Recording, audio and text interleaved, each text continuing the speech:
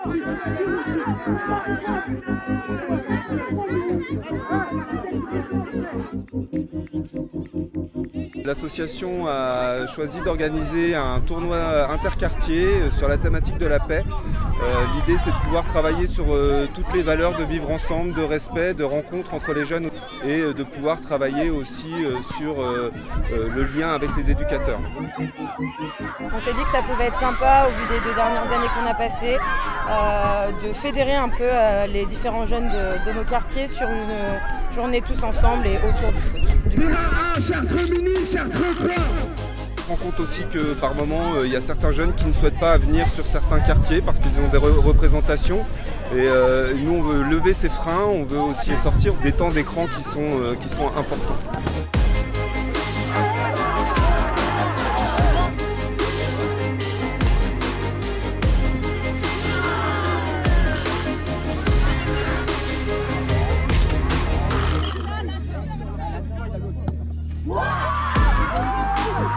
Ce tournoi rassemble à peu près 140 ou 150 enfants ainsi que des parents. Euh, tous les quartiers de Troyens et de l'agglomération sont représentés. Une équipe de jeunes aussi du, rural euh, a, participé aussi à ce projet.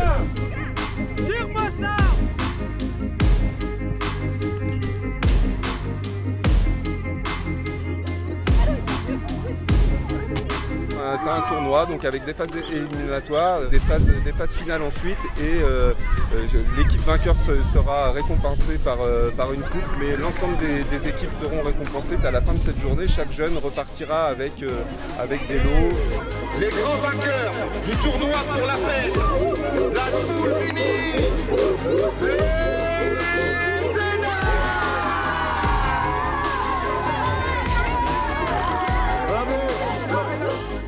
Bah, c'était plutôt cool. Euh, on a fait plein de matchs, même si on n'est pas qualifié. Ça fait beaucoup de bien euh, après les années de Covid de, pouvoir jouer euh, dehors sur un terrain comme ça. Il y a des joueurs qui sont rapides, techniques. là, on a fini nos matchs. J'ai vu des belles actions, j'ai vu des, des joueurs faire play.